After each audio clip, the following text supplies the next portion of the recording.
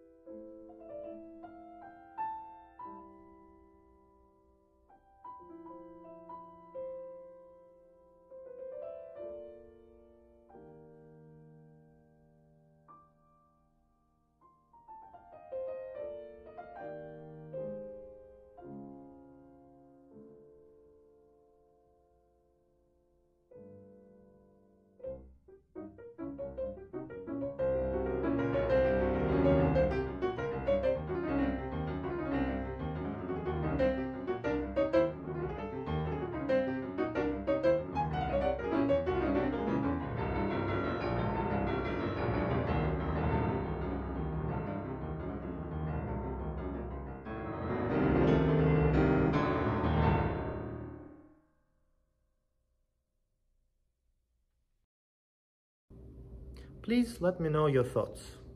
If you're a musician and you'd like to consider adding Ukrainian works to your repertoire, I'll post a link to a very useful resource uh, where you can find a lot of scores for pretty much any instrument. Also, if you'd like to support Ukraine, I'll post some links where you can donate to either humanitarian or military effort. Thank you very much for listening. Thank you for supporting Ukraine. Slava Ukraini!